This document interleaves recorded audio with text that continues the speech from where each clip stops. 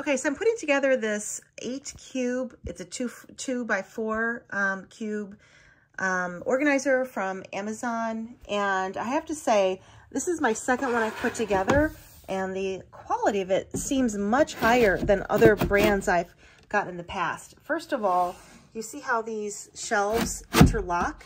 It just gives it much more strength than other kits I've put together. Also, the um, particle board for the backing, after it's all put together, is quite thick. Oftentimes, it's just like this very thin cardboard, but this is extremely thick and stiff. And instead of just tapping little nails in to put it together, you actually, they give you little black screws that you put in through the, the holes here. So it's held together extremely secure. Okay, so here's all the pieces it comes with. You kind of put together the spine of it and then put the sides on, the bottoms on, and then put the back panels on. And here's the end result that you have here. And it looks very similar to maybe other cubes I've bought in the past, but um, I have to say the quality and the um, just how sturdy it is is a lot better.